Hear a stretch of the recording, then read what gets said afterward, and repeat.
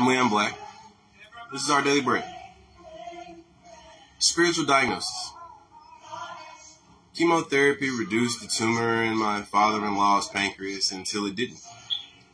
As the tumor began to grow again, he was left with a life or death decision.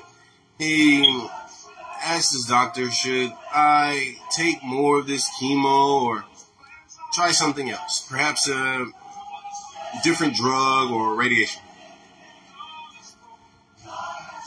The people of Judah had a similar life or death question.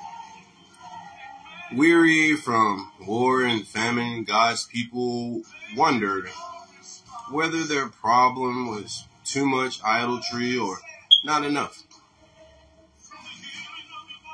They concluded they should offer more sacrifices to a false god and see if she would protect and prosper them.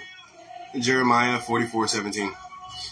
Jeremiah said they had wildly misdiagnosed their situation. Their problem wasn't a lack of commitment to idols.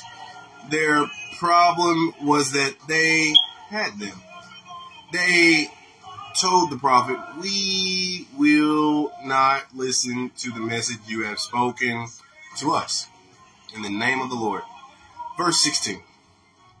Jeremiah replied, Because you have burned incense and have sinned against the Lord and have not obeyed him or followed his laws or decrees or stipulations, this disaster has come upon you. Verse 23. Like Judah, we may be tempted to double down on sinful choices that have landed us in trouble. Relationship problems, we can be more aloof. Financial issues. Will sin our way to happiness? Pushed aside, we'll be equally ruthless, but the idols that contributed to our problems can't save us. Only Jesus can carry us through our troubles as we turn to Him. Mike Wittmer, April 29, 2022. I'm Leon Black.